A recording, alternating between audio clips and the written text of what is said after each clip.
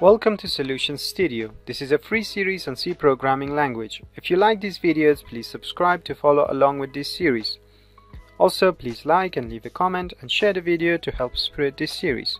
Hello and welcome to this episode and in this episode we discuss about confusing the equality operator with the assignment operator and this is one of the mistakes that every programmer do from the beginner to the advanced programmers from time to time.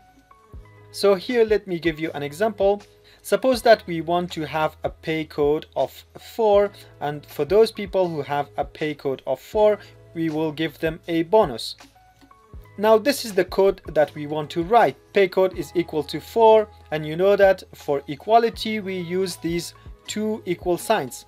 But if we made a mistake and we had written an assignment operator instead of an equality operator, the problem with this mistake is that it is a logic error instead of a compilation error. So the compiler will not give you an error and the compilation of the program will successfully happen. But the fact is that a logic error will happen and everyone will get a bonus regardless of their pay code. And why is that? Because this statement always evaluates to true. You know that assignment operators, they return a value. For example, let me show you an example in here. I have an assignment statement and if I try to print the value of assignment statement using a conversion specification in printf, let me show you. Now as you can see the value of this assignment operator is 4 so it returns this 4 as a value.